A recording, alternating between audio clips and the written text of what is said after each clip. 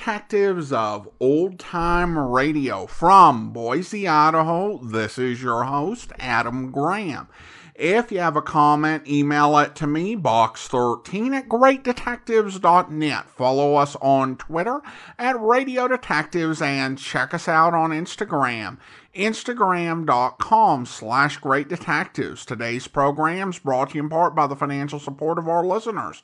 You can support us at our paypal link at support.greatdetectives.net on a one-time basis. You can also become one of our ongoing patreon supporters for as little as $2 per month. Just go over to patreon.greatdetectives.net if you're not subscribed to the podcast i do encourage you to subscribe to make sure you never miss an episode. You can subscribe with your favorite favorite podcast software, including Apple Podcasts, TuneIn, Stitcher, or the Amazon Music app at amazon.com slash OTR Detectives.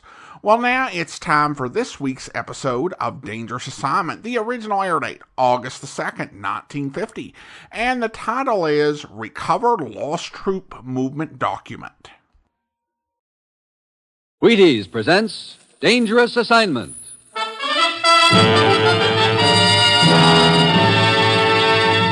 On stage tonight from Hollywood, Dangerous Assignment, another in the Wheaties' big parade of exciting half hour presentations.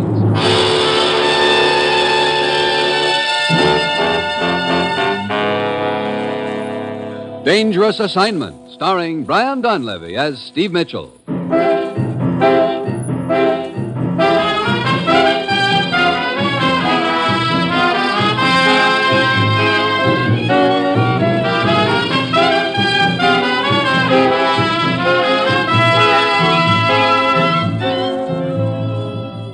Yeah, danger is my assignment. I get sent to a lot of places I can't even pronounce. They all spell the same thing, though trouble. But when I walk into the commissioner's office, I don't realize that this assignment is going to involve my trying to hide three divisions of troops behind an empty water glass.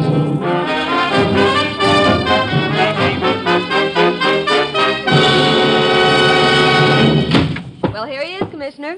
I found him right in the middle of a big deal, as usual. Hello, Steve. Commissioner? I hope it was a square deal. She didn't look square to me. Uh, what have you told him so far, Ruth? Oh, only that you wanted him to go looking for a woman. I figured that was the best bait I could use. Well, don't tell me it isn't true. Oh, it's true, all right, but I'm afraid your association with this particular woman won't be a very pleasant one. I might have known. I'll have your passport and credentials ready when the commissioner's through with you, Steve. Okay, Ruth. Well, what's the deal, Commissioner? Vienna. Vienna. Long time since I've danced a Strauss waltz. You can leave your ballet slippers home, Steve. Here's the setup. With the situation what it is, we have to increase our armed strength on all fronts. Naturally, our consulates are kept informed as to proposed increases of strength in their respective areas. So? So, two days ago, a document containing information regarding troop movements in Europe was stolen from our consulate in Vienna. The troops have already embarked, and with these unidentified subs around, we can't take chances. I see. Any idea who swiped the document? Yes, a janitor named Joseph Bildner. Well, that doesn't sound so tough. Find Bildner. We've and- already found Bildner in an alley in Vienna last night, murdered. I see. Well, that sort of puts a new light on things. The document wasn't on his person. Just before he died, he mumbled the name Eva Loesch. Eva Loesch. Hey, that name rings a bell. A siren, you should say. But I haven't time to go into her background now to fill a book. Manville Olson can tell you all about her. Who's Olson? He's with the consulate in Vienna. You'll arrive there early tomorrow evening. Go to the Imperial Bar at 8 o'clock. Olson will be waiting for you. Why meet in the bar? Not that I have any objections. Now, this investigation has to be kept undercover, particularly the part about Eva Loesch. Olson will tell you why. Now, Steve, get over there. Talk to Olson. Find Eva Loesch. And most important, get those documents back. Well, that's it. You've got your assignment. Good luck.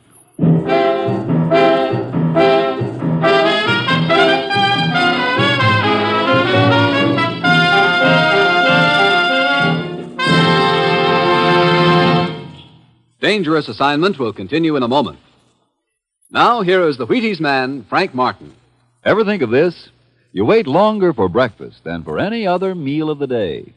From the time you go to bed until you eat breakfast is the longest period there is between two meals. So, breakfast has to be good to do the most good for you at a time when you really need food. Which is why I say start breakfast with Wheaties and milk and fruit. It's a pleasant way to get protein, vitamins, and minerals, and just plain whole wheat energy in a hurry without a lot of fuss. Wheaties supply energy when you need energy because there's a whole kernel of wheat in every Wheaties flake. Yes, a whole kernel of wheat in every Wheaties flake. Sure, breakfast of champions. See for yourself. Have some. See how Wheaties at 7 can help at 11.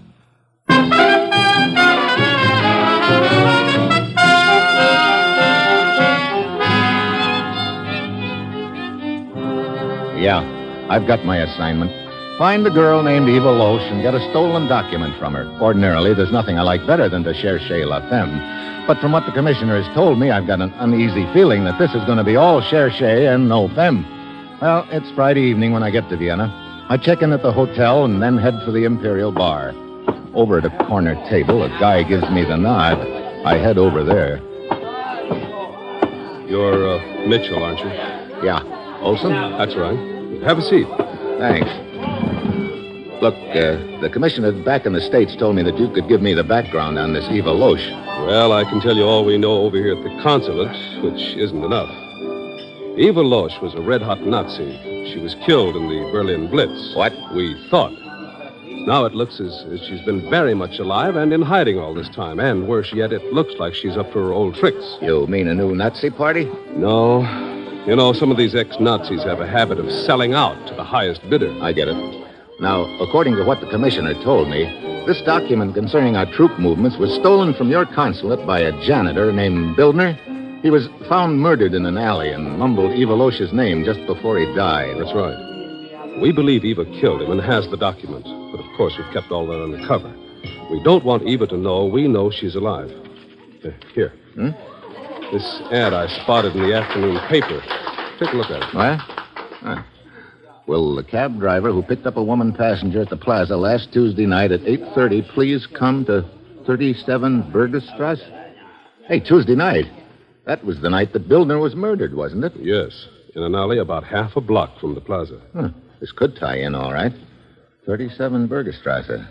Okay. I think I'll answer that ad, Olson. I'll check with you later.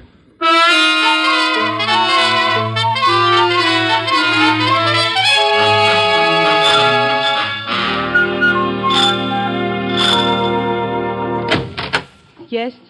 Are you the one who put that advertisement in the paper this afternoon? Come in. Yes, I'm the one. Why? Fräulein, Frau Denise Manescu. Who are you? I'm the cab driver you're looking for. Oh? Uh, describe this woman you picked up. Well, she was about oh, medium build, dark hair. You're lying. Huh? I do not know who you are, but you are not a cab driver. Now, look. Yes? You are the one who put the notice in the paper. Oh, great. Why, yes. I would like to talk to you, please. Just a minute. I am the cab driver in question. Who is this man? This man is about to leave. No, I do not think so. What? Oh, well, come to think of it, you may be right. How come the gun, Buster? You will stay right here, both of you. You are not cab drivers, either of you. In my case, you are quite right. As for this other man, I do not know who he is. I will find that out presently. Well, as long as we're going to play guessing games, maybe you wouldn't mind if I start guessing who you are. You do not have to guess, my friend. I will tell you. I am Lieutenant Oscar Segal of the police. The police. Well, that takes a load off my mind. Does it? Yeah, but I can't say as much for Frau Manescu here. She seems to be real upset at the news. Frau Manescu? The name seems to mean something to you, Lieutenant. You are not by any chance related to George Manescu. Yes. I'm his wife. But this is completely mystifying. Why would the wife of George Manescu be implicated in such an unsavory affair as this? Somebody mind telling me who George Manescu is? What is your interest in this matter? Maybe these credentials will answer that question, Lieutenant. Oh, yeah. Yeah, I see. They have indeed answered that question, Herr Mitchell. Now, how about filling me in on this George Manescu? Oh, a local politician of high character who has worked in close cooperation with your government here. I see. Well, in that case, Frau Why, Manescu. there, there is no use holding back anything more. I, I did not want the police brought into this. But, well, here you are. Here I am indeed. I must strongly impress upon you the wisdom of making a full explanation at this time. Yes, I, But you see, Eva Loesch Uh, is my sister. What? I believed, as did the rest of the world, that she was dead. I believed that until Tuesday night, when she came here to see me. What did she want? She said she was in trouble and wanted to hide here. I refused. And then she said I, I must help her. In what way? She said that a, a man was killed, but that she did not do it. That there was a cab driver who could clear her if she could only find him. So you ran that ad in the paper? But I, I, I didn't know what else to do. I, I, I couldn't go to the police. I, I know what damage would be done to my husband's reputation if it were learned that the notorious Eva Loesch was his wife's sister. So I, I, I ran the advertisement, hoping it would help clear her. And then if their relationship were to be revealed later, it, at least it would be not quite so bad for my husband. I see. Well, that all leads us up to the big question. Where's Eva? I do not know. Frau Manescu, it is my duty to warn you that withholding information. I'm telling you the truth. I swear it. I've no idea where Eva's hiding. She said that she would contact me in a few days, but I've not heard from her. Look, sisterly love is a wonderful thing. But I hope that you realize unless we locate Eva in a hurry, there's going to be a lot more damage done than just to your husband's reputation. Sisterly love. You think that is what I feel for Eva? As far back as I can remember, we've hated each other. My only regret is that she was not killed in Berlin. Then we have your promise that you will communicate with us at once if she contacts you again. Yes, yes, at once. And rest assured, gentlemen, it will be a happy day for me when I can turn my dear sister over to you.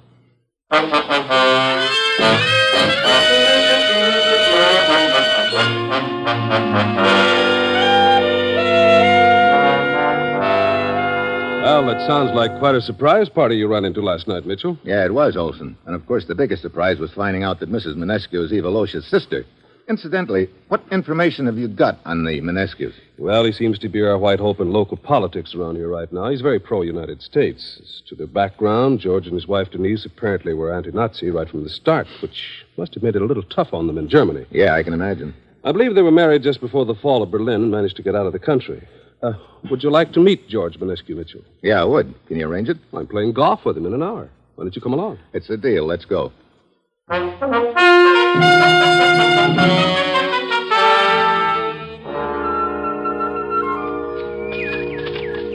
That last shot of yours was a honey, Mr. Minescu. Looks like you're only about two feet from the pin. Oh, thank you, Mr. Mitchell.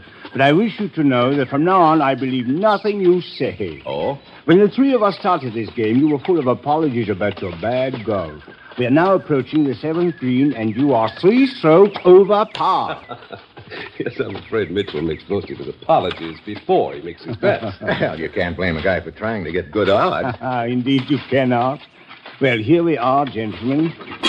And I must say, this is the part of golf I enjoy the most. Putting? Yes. Well, it's the part of the game that pays off. Mm, perhaps it is because putting is so helpful to me. How so, Minescu? Well, I practice it constantly, even when I'm at home. Particularly when I'm thinking about something, putting relaxes me, helps me to think clearly. Mr. Olson, I believe you are aware. Your putt. Oh, sorry. Uh, downhill putt, too. Just the kind I don't like. Well, in your case, practice sure pays off, Mr. Minescu. Your putting is very sharp. Oh, thank you. Too bad, Olson. Rimmed the cup on you, huh? Yeah. Well, that gives me a six. Well, looks like I'm next. Little break to the right, it looks like. Not quite as much as it looks. Thanks for the tip. Nice putt. I had good advice. Maybe you can return it sometime. Be glad to, except I don't think you'll need any on this putt of yours. Can't be more than two feet. No, I need this for my par. This is a lot more pleasant way to spend time than roosting behind a desk. Yeah, but it isn't helping us find Eva Loesch. Missed. I'm sorry, Mr. Minescu. I didn't realize you were set to putt, or I would have kept still. Oh, that's quite all right, Mr. Mitchell. Your voice did not bother me. I don't know what went wrong. Well, looked like you tightened up all of a sudden. Yes, yes. Well, it is no matter. Come, the next tee is right over there. I'm really sorry about that, Minescu. Oh, but I assure you, I was not even aware you were talking, Mitchell. For the life of me, I can't understand why I should miss a two-foot putt. But that is what makes the game of golf so unpredictable, I suppose. I think they call it the human element. yeah, I think they do. Yeah, let's see. Uh, oh, I believe you're still up, Minescu. Hmm? Oh, yes, yes. You know, Steve, it seems to me that you raised your voice a little when you mentioned the name Eva Loesch. Did I? Wait, we mustn't rattle Minescu anymore. He's ready to drive. Oh, miserable. Yeah, quite a slice. I must have cut across the ball. Gentlemen, I, I hate to say this, but I, I seem to have a headache. I wonder if perhaps you would excuse me from continuing with our match. Sure, matter of fact, I've had enough. How about you, Olson? Sure, anytime. We can cut back towards the clubhouse through this grove of trees. Oh, please, please, I don't want to spoil your game. Why don't the two of you continue? No, no, it seems to be getting a little too warm for comfort anyway. Olson! Mitchell, he's been shot right through the head. Quick, Minescu.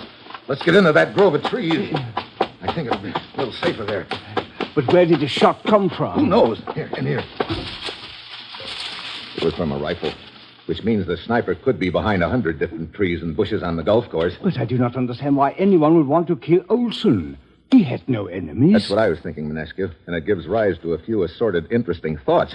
What do you mean? Maybe that bullet was meant for somebody else. Somebody else? Do you mean yourself? Yeah, maybe me. Or maybe you, Minescu.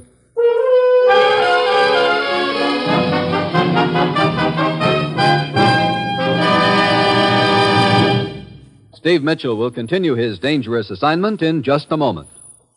Folks, I'd like to have you meet a good friend of mine and a prominent member of a fine little organization known as the Chicago White Sox, Mr. Lucius Benjamin Appling. Ooh, Ed, don't say it like that. Whoever heard of a ball player named Lucius?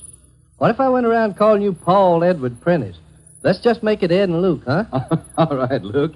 Say, just how long have you been with the White Sox? Over 20 years, Ed. Golly, I played in darn near 2,500 games. Been at bat almost 9,000 times. Man, I'm from way back. Well, Luke, you don't look it. How do you keep up the pace anyway? Well, Ed, I sleep good. I eat good. I eat mighty good.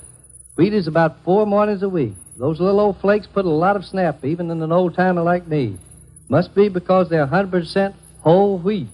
I sure like Wheaties and milk and fruit. You know, Luke, that's exactly what I hear from a lot of ball players and plenty of other people, too. No wonder they call Wheaties the breakfast of champions. Thank you, Ed Prentice and Luke Appling. And as for our breakfast of champions, friends, sure, they're for men who go to bat for a living, but confidentially, they're for us, too. You and me. We need whole wheat energy, same as the champions who play ball for their paychecks. Don't forget your own breakfast of champions. Wheaties. Get yours.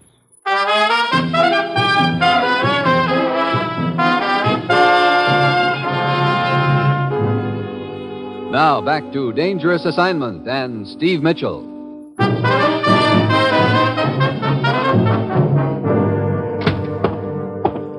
Ah, Mitchell, I have been expecting you. You uh, uncovered anything new, Lieutenant Siegel? Indeed, I have. You told me that when you mentioned the name Eva Loesch on the golf course earlier today, Manescu reacted visibly. That's right. I dangled a little bait under his nose, and he snapped at it like an undernourished barracuda. Huh. Of course, to be fair to the guy, he probably knows that his wife is Eva's sister. It could have been that. I am positive it was much more than that. Oh? I have done a considerable amount of investigation into Manescu's background, and I am sure it will be of interest to you to learn that in the old Nazi days in Germany, Manescu and Eva Loesch were, uh, shall we say, extremely friendly. Oh, yeah? Well, that kind of puts a different light on things. Yeah, indeed it does. After Eva's death, Manescu married her sister Denise and made his escape from Germany with her. Hmm. And now Eva's popped up again. You know, that gives rise to an interesting possibility. Yeah, the possibility that Manescu has been seeing Eva again and knows where she is. Which means he either has those documents or knows where they are. Well, I've got to hand it to him for the big act he's been putting on about being such a friend of the United States. If our suspicions of Manescu are correct, one cannot help feeling sorry for his wife, though. Yeah. It must be a pretty rough spot for Denise if she has any idea what's going on. Oh, excuse me, please. Lieutenant Segal speaking. May I speak to Mr. Mitchell? Yeah, one moment, please. It's for you, Mitchell. The lady in question. Oh? Hello? This is Denise Manescu, Mr. Mitchell. Something has come up. I must see you at once. Okay, I'll be there in about 15 minutes. Well, it could be that Denise is starting to smell a rat, Lieutenant. I'd better get over there and see if it's the same rat I think it is. So I head for the Manescu's house. Manescu, with a preoccupied look and a putter in his hand, lets me in the front door. Then he disappears into his study. Denise is waiting for me in the living room. Thank you very much for coming, Mr. Mitchell. Oh, sure. You said something had come up, Denise? Yes. Uh, first, let me ask you did you say anything to my husband when he let you in the front door? No, he looked like he was in another world. Yes, he seems to be worried about something. I'm afraid I know what it is. You think maybe he's been seeing Eva Loesch lately? Yes, I think he has. I'm sorry. I'm sorry, too. When my sister died, I thought that part of his life was over. It, is not a very pleasant thing to realize that you have been married on the rebound, Mr. Mitchell. I told you that. Uh, What's the matter? Steve, there is someone on the roof of the house next door. What? Wait. Whoever it was saw me watching and disappeared. Come on. Here, we can go out through these French doors. Huh, nowhere in sight. Did you recognize him? All I could see was a trench coat, a slouched hat, and a gun. Look, you stay here. I'll circle around this house and try to climb up and nab him.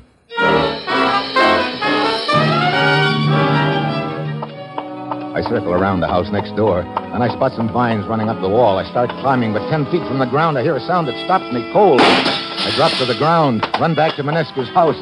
The study window is shattered, and in front of it stands Denise, staring inside, half hysterical.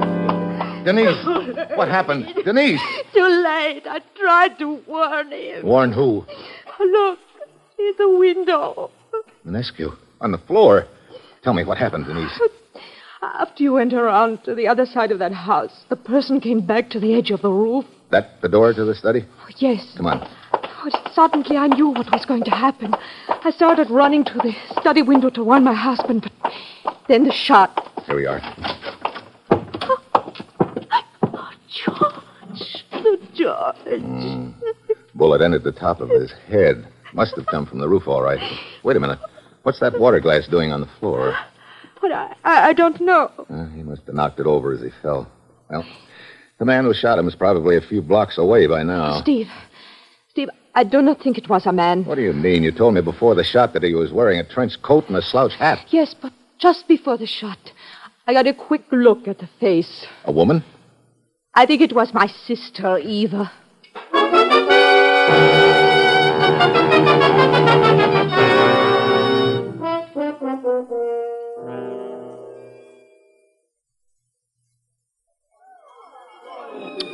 A most perplexing case, Mitchell. First, the janitor Joseph Bildner murdered. Second, the American Olson murdered. Third, Georges Manescu. Murdered. But at least we know who's behind it all, Eva Loesch. So the big problem is finding her in those documents, Lieutenant. You know, there's one thing I don't get. Why is Eva hanging around town if she already has those documents? Mitchell, have you considered the possibility that Manescu might have been shot by his wife, Denise? Sure, I've considered it. She had a motive, too. She knew her husband had been seeing Eva, but there's just one little item that sort of knocks that theory into a cocked hat. Yeah, unfortunately, you are right. You are referring, of course, to the angle at which the bullet entered Manescu's head. Yeah, from the top of his head down. Which would indicate that the bullet was fired from some distance above him. That his wife was out on the terrace at the time, slowly below him. Uh, as a matter of fact, below. All of which brings us back to our friend Eva. Excuse it, please. Are you Lieutenant Segal of the police? Yeah. Then perhaps you would be good enough to tell me what this is all about. Perhaps you would be good enough to tell me your name and what what is all about. Excuse. I'm Anton. I drive taxi cab. So? So today in newspaper stands an advertisement. Wait a minute. You mean the one about the cab driver who picked up a woman at the plaza last Tuesday night? Yeah, you put it in? No, no. Uh, go on. I answer the ad. I go to the address. There is policeman there, and over in one corner a woman sitting with her head in her hands crying. That'd be Denise. So I tell policeman that I picked up a woman last Tuesday night. Probably Eva Loesch. I did not know her name. I picked her up at the plaza, and she stayed in my cab only two blocks. She kept looking back over her shoulder, and then she made me pull over to the curb and got out. All this I tell policeman. He takes down my address and tells me to come over here to Imperial Bar and report to you. Very well. Thank you for your information. You may go now. Go, he says. Still, nobody tells me what this is all about. Well, that was a big bunch of nothing. Mitchell, this case is giving me a headache. Murders, stolen documents, political intrigue. And every time we think we have a fresh lead, it disappears into thin air. Poof! Oh. Hey, hey, watch it.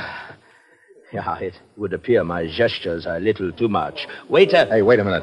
What's the matter? Look, Siegel, you knocked the glass off the table just now and it broke.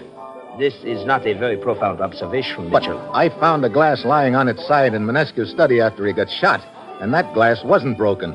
Yet the table there is about the same height as the table here. What are you getting at? Manescu's glass wasn't knocked off the table. It was placed on the floor. So? So we've been a couple of prize jugheads. I still do not understand what. The whole thing has just fallen into place, Lieutenant. There's just one big thing wrong right now. What do you mean? I mean, we could be just about five minutes too late.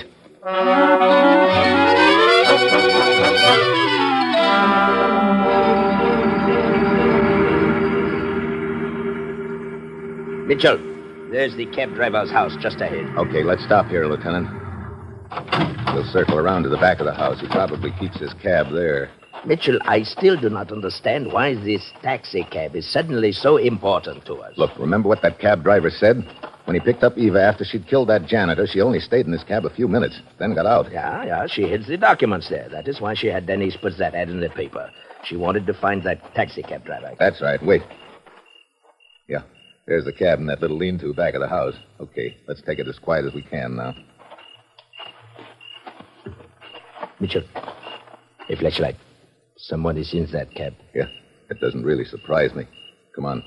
Oh, Found those documents yet? Denise Manescu. No, Eva Loesch, Lieutenant. It's one and the same person. What? no, that's a lie. Save it, Eva. The real Denise got killed in the Berlin Blitz, didn't she? No. You figured it'd be a neat scheme if people thought it was you who were killed. You posed as Denise, married Manescu, and got out of town. Lies. All of them lies. I guess Manescu was the right guy after all. He probably figured you'd reformed when he found out that you hadn't. You were afraid he'd expose you. You tried for him once on the golf course and got Olson instead. Then you rigged this little scheme for my benefit at your house this afternoon and killed him. Mitchell, watch out. Yeah, I see the gun. Your aim isn't as hot as it was, Eva. Drop it. That's better. And thanks for giving us the one piece of evidence we needed. This gun of yours. I- Five will get you ten. We can prove that the slug that killed your husband came from this gun. You, you, I will kill you. Ah, temper, temper. Uh, Mitchell. Yeah. This is all very nice, but there's one thing that we may have difficulty in proving. What's that? The angle of elevation of the bullet that killed Manescu. That's right. How could it have been fired by Ava here, who was standing on the ground outside the window? You That see? brings us back to the empty water glass, which was lying on its side on the floor in Manescu's study. I should have figured it sooner. Figured what? Look, when Manescu let me in the front door, he had a putter in his hand. He'd already told me that he practiced putting at home whenever he had a problem. And along about then, he had a big problem. What to do about Eva. Putting? Yeah. How do you go about putting a golf ball, Lieutenant? Why, why, one takes the club in his hand, bends over the ball, and. You can stop right there. That's what Manescu was doing. That's why the bullet entered the top of his head. Right, Eva? I have nothing to say. You don't have to. You know, you never want to underestimate anybody's golf game, Eva. You probably thought your husband's putting practice was a big joke. Well, maybe you were right. Yeah, I guess you could call it a joke. A real funny one. It'll kill you.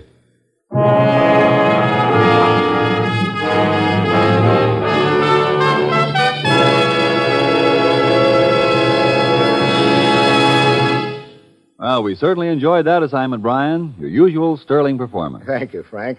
I uh, had an extra bowl full of Wheaties this morning. Maybe that helped. Well, I'm sure it did, Brian. Seriously, you know, Wheaties can make a difference. oh, I agree. Less of a letdown. Oh, more of the old up and at 'em. That's right, but I have something to confess, Frank. You have what? The real reason I eat Wheaties is I like them. Well, good for you. Best reason in the world. It's fine, the whole wheat, vitamins and minerals and proteins in Wheaties. But it's just the plain goodness you go for, huh? That's right, Frank. Ladies and gentlemen, you have heard the words of an honest man. Get your Wheaties tomorrow. Work better all morning for it. But most of all, eat 'em because you like 'em. Right, Brian Donlevy? Right, Frank. Good night.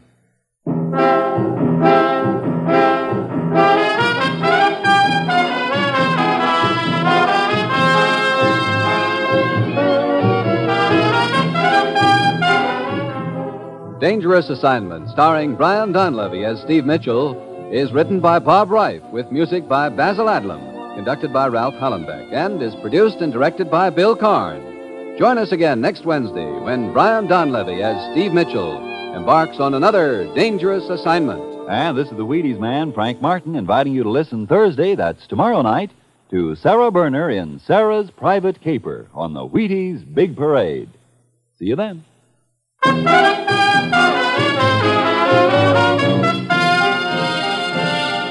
Next, listen for The Falcon on NBC.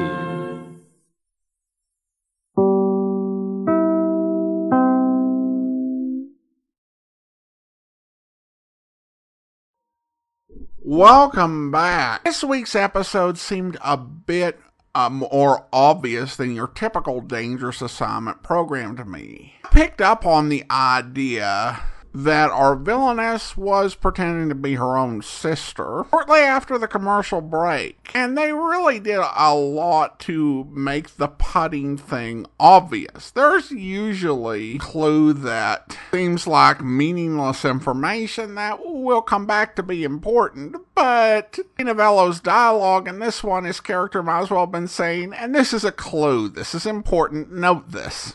On the bright side, we learned a valuable lesson. Don't play golf with Steve Mitchell, at least not for money. We turn now to listener comments and feedback, and we have a comment from Stephen. And Stephen writes in regarding the uh, episode uh, uh, Champlin and his reel of tape.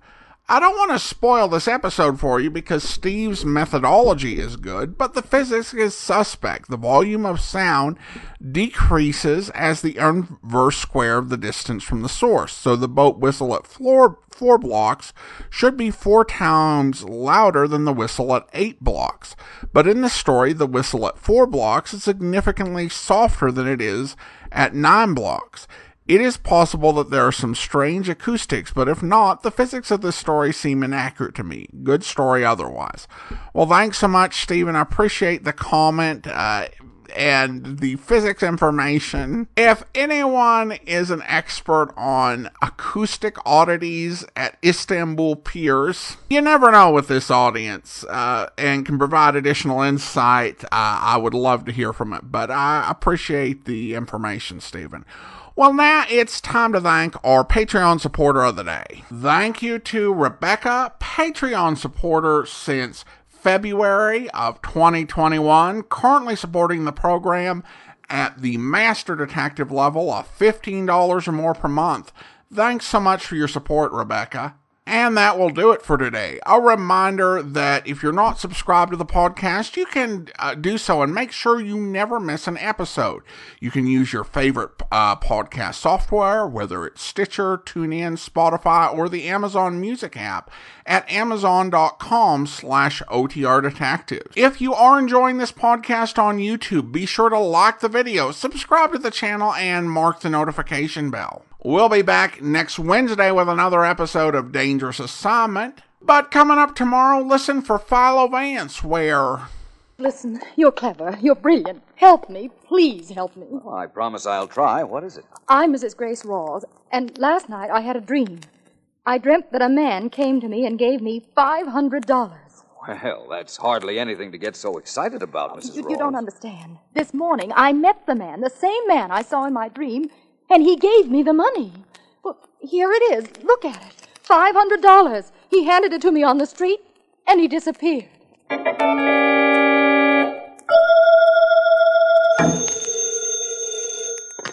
Philo Vance's office? Hello, this is Mrs. Rawls. I-, I was in to see Mr. Vance yesterday. Please connect me with him. I'm sorry, he isn't in. Well, find him then. Please find him at once. Tell him that last night I dreamed that same man came to me and gave me a new car. This morning when I woke up, the same car I dreamt about was in front of my door. Tell Vance he's got to explain this before I go mad. My dear Mrs. Rawls, you came to tell me about the third dream you had, the one you dreamt last night. Now, why don't you tell me? I don't know. I, I don't know if I dare. Those other two dreams I had coming true when I woke up. I'm afraid. If I'm going to help you, I'm going to have to know about this latest dream. All right, all right. Only, only I'm scared, Vance. I'm afraid. I, you see, Last night, the same man who came to me in the first two dreams came again. This time, he told me I was going to meet a man named Sam Davis. And when I met him, I was going to kill him. I hope you'll be with us then. In the meantime, do send your comments to box13 at greatdetectives.net. Follow us on Twitter at Radio Detectives and check us out on Instagram, instagram.com slash great detectives. From Boise, Idaho, this is your host, Adam Graham, signing off.